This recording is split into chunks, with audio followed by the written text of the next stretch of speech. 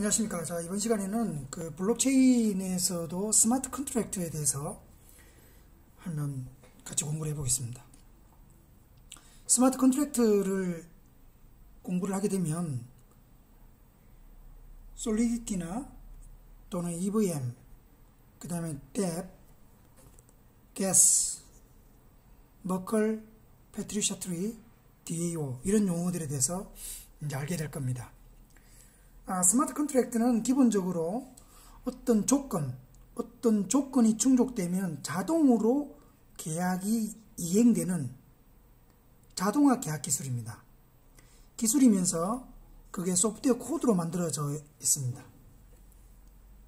그래서 어, 스마트하다는 뜻 자체에서 의미를 대충 파악하셨겠지만 스마트하다, 자동으로 어떤 조건에 부합되면 계약이 이루어진다 이렇게 보시면 되겠고요.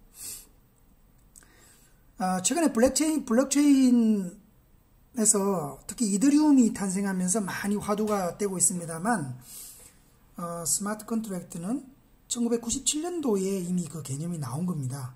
나왔다가 이제 이더리움에서 smart contract를 전략적으로 채용을 하면서 또는 이더리움 이더리움이 smart contract 기반의 어, 블록체인 기술이 탄생하면서 본격적으로 이제 회자가 되는 거죠.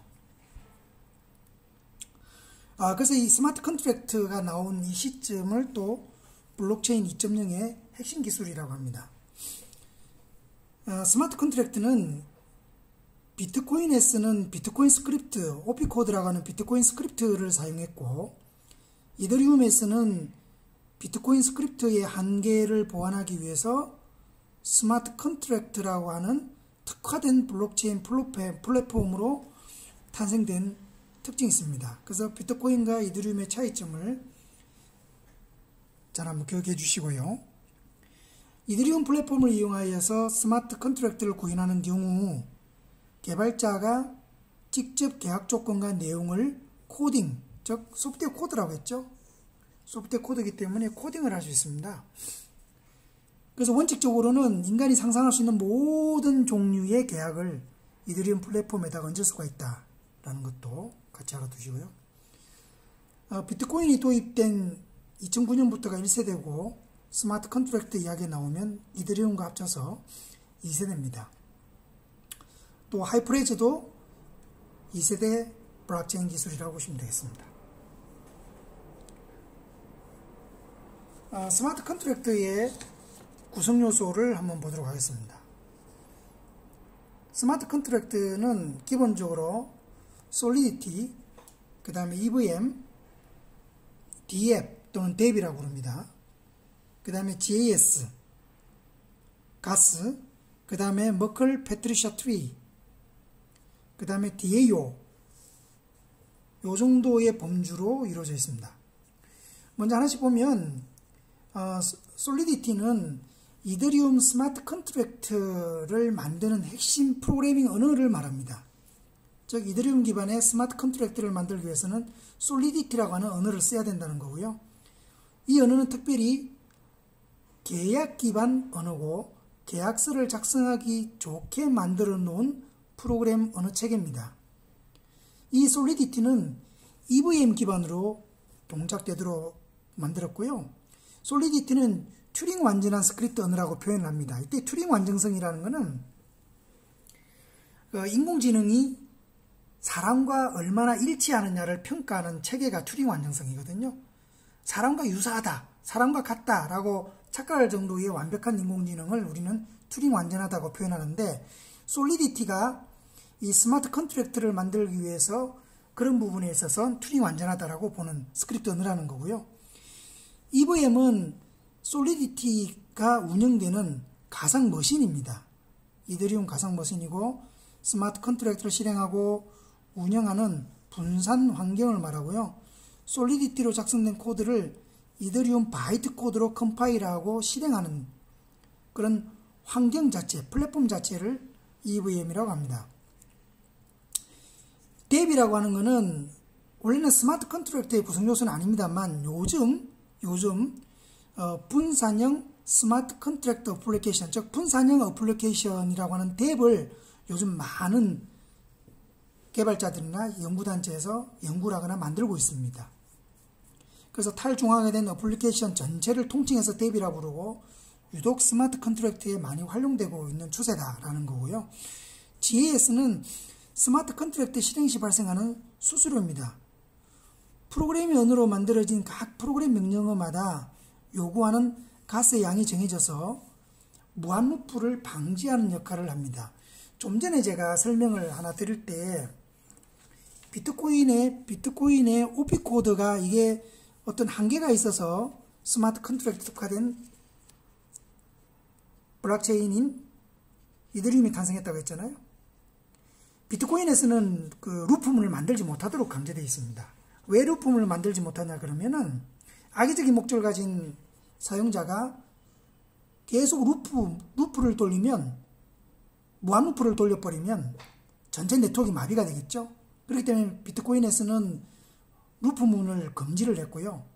이더리움에서는 루프 문을 허용을 하되 허용을 하되 코드마다 코드마다 수수료를 내도록 되어 있습니다. 그 수수료 이름이 가스라고 부르는 거고요. 이 수수료를 내기 때문에 결국 무한 루프를 돌릴 수가 없게 되는 거죠. 수수료가 소진되면 루프가 정지되거든요. 그러니까 악의적 공격이나 DOS 같은 걸 방어하기 위해서 나온 개념이기 때문에 좀 중요합니다. 그러니까 smart contract의 아주 중요한 특징 중에 하나죠. 그 다음에 Merkle Patricia tree는 Merkle tree와 Patricia tree를 합친 겁니다. Patricia tree는 trie 구조를 갖고 있거든요. trie 구조. 예를 들어서 그 어, 하나의 key값의 일부분만을 사용해서 분기하는 구조를 trie라고 하는데 예를 들어서 set이라고 있으면 여기에 어, 여기에 S와 관계된 것들이 분기가 되고 여기 E와 관계된 것들이 또 분기가 되고 여기 T와 관계된 것들이 분기가 되는 이런 구조를 일반적으로 trie 구조라고 합니다. 이런 trie 구조가 합쳐진 게 Merkle tree, Merkle Patricia tree라고 합니다.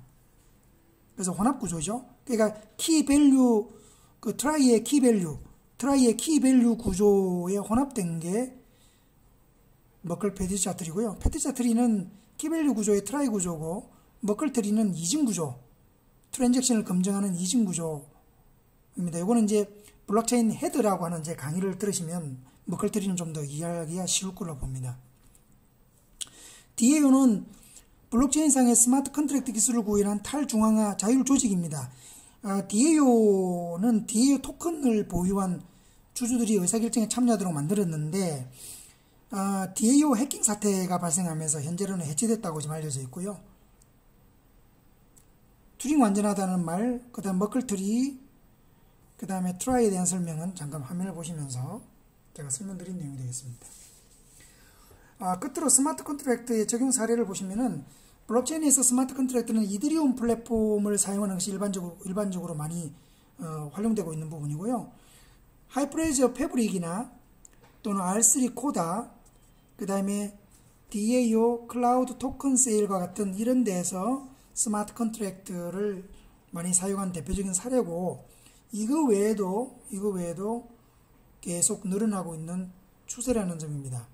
특히 관심 있게 볼 게 Hyperledger입니다. Hyperledger의 Hyperledger 플랫폼 중에 한 종류인 Fabric에서 이제 주로 smart contract 썼다는 거고 어, Hyperledger 재단 이라고 해서 Hyperledger를 그 산업용 분산 원장 표준화 프로젝트의 한 그룹입니다. 그래서 현재는 IBM이 주도를 하고 있고요. 원래 애초 IBM부터 시작했기 때문에 현재 IBM 주도를 하고 있습니다.